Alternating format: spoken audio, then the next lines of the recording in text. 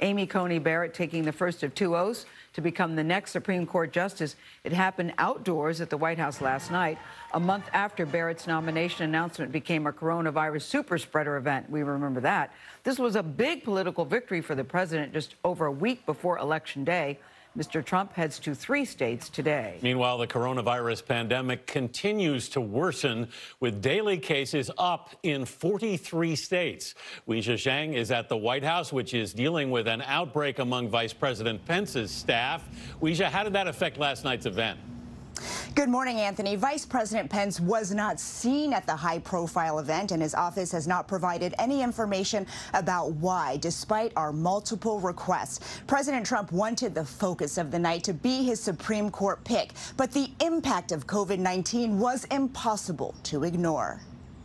She will make an outstanding justice. President Trump wasted no time calling a crowd to the White House to witness the swearing in of Judge Amy Coney Barrett, his third Supreme Court appointee. I will do my job without any fear or favor, and that I will do so independently. Is there a sufficient second?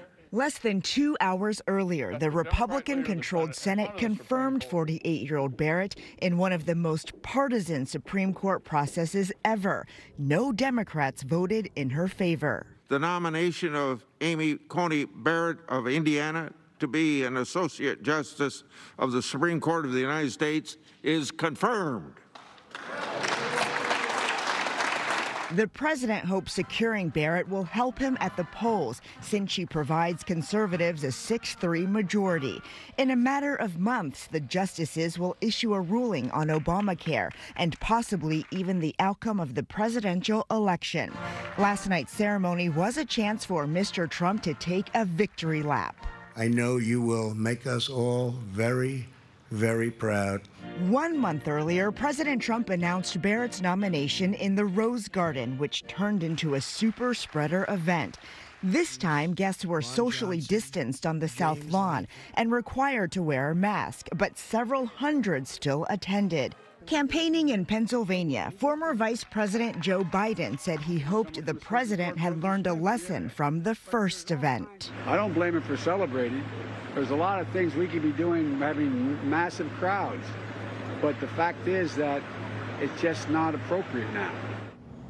While President Trump continues to claim incorrectly that the virus is under control, Vice President Pence is taking extra precautions on the campaign trail, like covering his face at all times except while on stage, canceling rope lines with supporters, and traveling with a group that is smaller than usual. He is charging ahead, though, with a packed schedule that includes rallies in six states over the next three days.